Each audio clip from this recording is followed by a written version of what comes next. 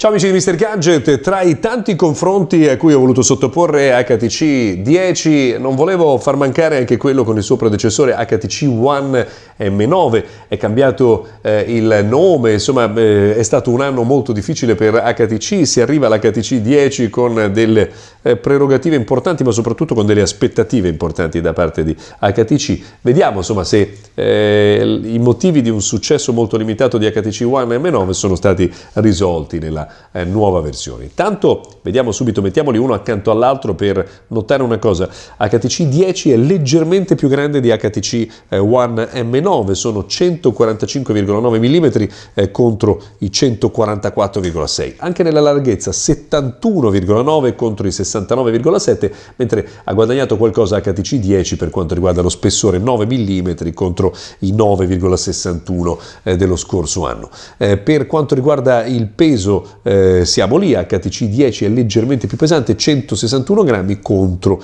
i 157. Allora, Cosa è cambiato invece per quanto riguarda la dotazione hardware? Intanto il display è rimasto eh, praticamente uguale, eh, è leggermente più grande eh, quello di HTC 10 eh, eh, con 5,2 scusate 5,2 pollici contro i 5 pollici che ci sono eh, da questa parte e c'è anche una definizione molto diversa no? perché se da una parte c'erano 1080 x 1920 pixel da questa parte invece siamo a 1440 x 2560. Altra eh, novità importante, 565 pixel per eh, pollici eh, per eh, pixel per pollice per quanto riguarda HTC 10 contro i eh, 441 eh, di HTC One eh, M9. Non è stato uno stravolgimento esagerato come quello che Galaxy S7 Edge ha fatto passando da 5,1 a 5,5, però insomma da 5 si passa a 5,2. Eh, la superficie, allora, mentre si era al 68,52% del totale eh, su HTC One M9, si è passati al 71,3% 13 del totale, che tutto sommato insomma, rispecchia quelle che sono le percentuali anche di altri prodotti. Molto spesso si parla di eh, cornici enormi, in realtà insomma, siamo eh, lì. Una differenza fondamentale ovviamente è quella eh, dei tasti eh, funzione che sono passati dallo schermo insomma, alla parte eh, inferiore allo schermo, quindi è stato anche guadagnato maggior spazio. Io vorrei farvi notare solo con luminosità automatica, in questo momento più o meno eh, a metà della luminosità, i due display non brillano sicuramente per eh, lucentezza e per eh, leggibilità. Questa è una delle caratteristiche insomma, che sono state mantenute rispetto allo scorso anno, cioè la scelta di una taratura con eh, una eh, luminosità diciamo, eh, di base abbastanza contenuta. Vi ho fatto notare forse una cosa, ve la faccio eh, rivedere in questo momento andando al display, intanto che i display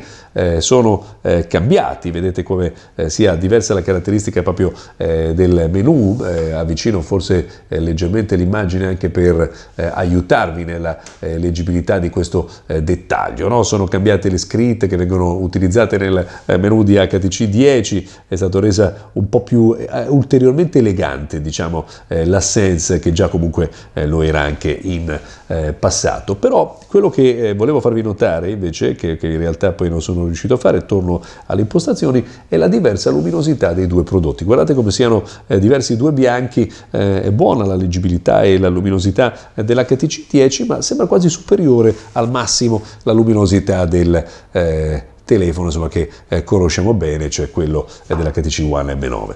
Eh, per quanto riguarda ecco, il design e le scelte estetiche, vediamo un po' quello che è successo eh, da un anno eh, con l'altro. Non tantissimo, se devo essere sinceri. Entrambi i telefoni con l'inserimento della micro SD da una parte e eh, della nano SIM dall'altra, attraverso sempre il famigerato cassettino eh, che insomma, viene utilizzato ormai da anni anche da HTC. È cambiato il pulsante di controllo del volume, era due pulsanti separati, invece c'è il bilanciere, il classico volume rocker in questo momento, pulsante di accensione esattamente eh, nella stessa eh, posizione. Sulla parte eh, inferiore compare uno dei due altoparlanti perché il boom sound è stato realizzato in un modo diverso, il Type C, USB Type C, mentre l'anno scorso c'era micro SD, abbiamo visto prima che è stato spostato invece l'attacco per le cuffie che è nella parte superiore per HTC 10, era nella parte inferiore invece per HTC One M9.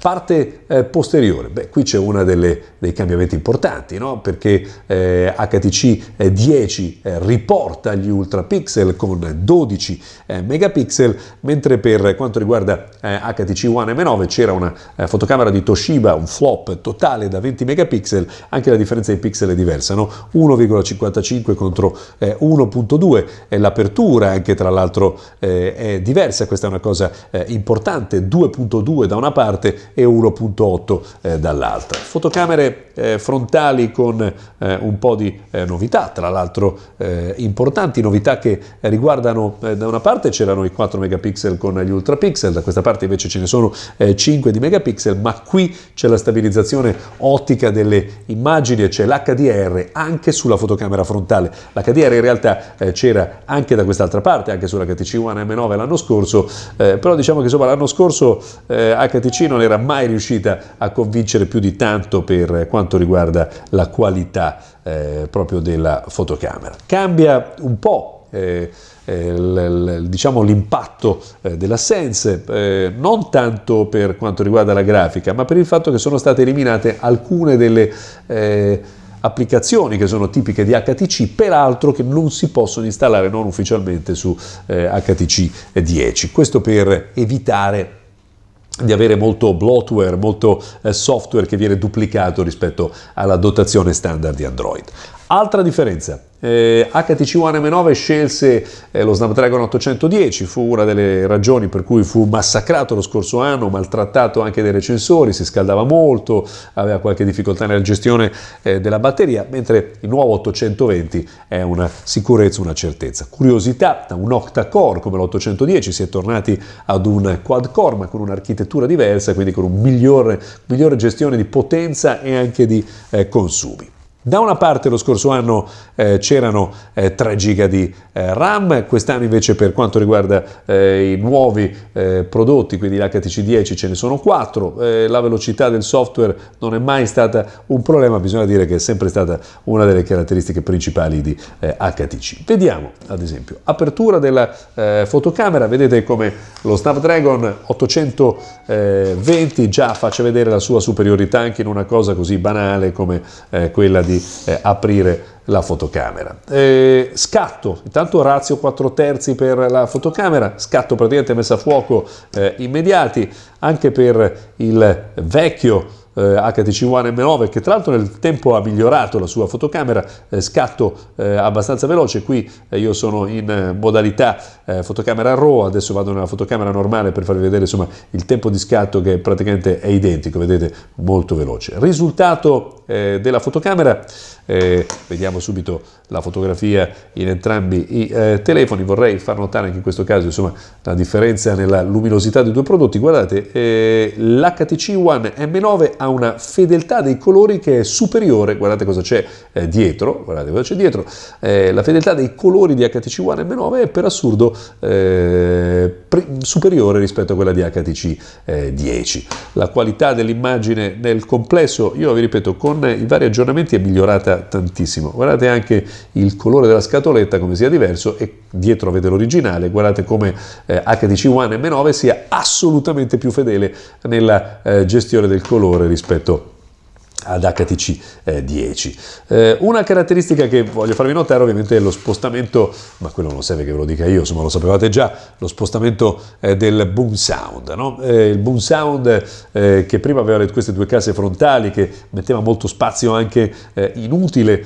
sull'HTC One M9 è stato invece reso con una fotocamera che è in capsulata eh, dentro la parte eh, della capsula audio del telefono e quindi una cassa qui, una, parte, una invece sulla parte inferiore, eh, medio-alti da una parte, bassi dall'altra, eh, qui invece il principio era di queste due casse che lavoravano contemporaneamente a livello frontale, eh, vedremo poi insomma quale sarà la resa. Eh, per quanto riguarda, io adesso avevo resettato il telefono prima di eh, fare la prova, quindi alcune funzionalità non le avevo ancora utilizzate, sottolineo peraltro che non c'è la SIM eh, dentro l'HTC 10 perché sto provando talmente tanti telefoni che non so più eh, dove andare eh, a pescare eh, le SIM, vediamo insomma uno collegato alla rete telefonica, l'altro invece collegato al wifi, ci vorrà un po' più di tempo per la connessione attraverso il wifi, qui la rete è molto più veloce invece con H3G con cui sono collegato in questo momento. Allora, vediamo soprattutto che in questo caso la resa anche qui si vede molto diversa dei bianchi e tra l'altro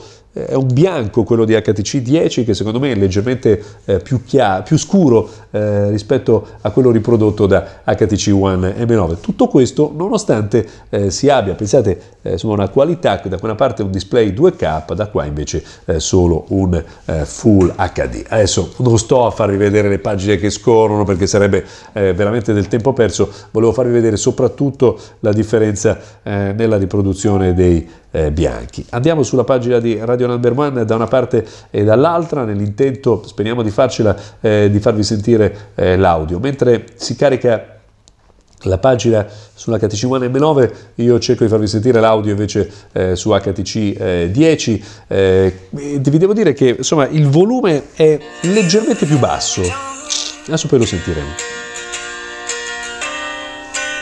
Buona la qualità, perché è assolutamente buona la qualità per eh, il risultato eh, di HTC 10, però il volume è leggermente più basso. Chissà perché la scelta eh, di questo genere eh, da parte di HTC, probabilmente avrà le sue buone ragioni che magari scopriremo poi con il tempo. Probabilmente è anche una questione di spazio fisico occupato, per cui si mette meno volume. Certo, c'è un'ottima qualità invece per quanto riguarda le cuffie, perché le cuffie di HTC 10 sono assolutamente strepitose nel loro funzionamento. Io trovo che siano assolutamente meravigliose, c'è una qualità davvero dell'audio eh, fantastica in HTC eh, 10 quando eh, si ascolta l'audio in cuffia. Vedremo, vediamo se eh, ce la facciamo con la rete a vapore a sentire l'audio, perché questa credo che sia una comparazione importante. Guarda, sentite com'è diverso.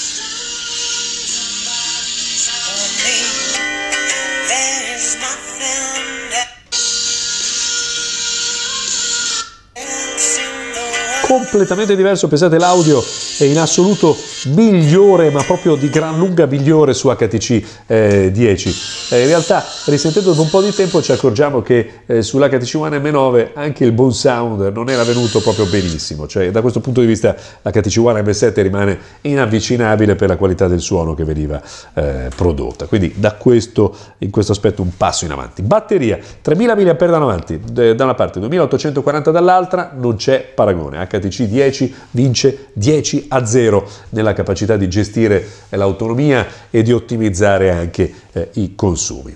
Eh, leggibilità del display, l'abbiamo visto anche in altri confronti, la eh, 10 ha un display eh, che si legge bene, con un, buon eh, livello di eh, leggibilità e di angolo di visione, anche tutto sommato la HTC One M9 che è sempre stato un po' insomma, maltrattato, vedete che tutto sommato si comporta abbastanza bene. Ricezione sono più o meno insomma, allo stesso livello, qualità dell'audio in capsula siamo veramente più o meno eh, più o meno lì. Nella funzionalità, vedete, di tutti i giorni è cambiato qualcosa per quanto riguarda i colori base, insomma, da una parte c'è il nero, dall'altra parte c'era questo grigio bluette che eh, aveva proprio una caratterizzazione un po' diversa della grafica, però vedete che l'aspetto eh, generale del eh, telefono più o meno insomma eh, è quello l'interfaccia Sense comincia a dare un po' il segno dell'età, secondo me ci sono eh, delle soluzioni di interfaccia un po' più belle in questo momento in circolazione, ma la Sense rimane sempre un punto di riferimento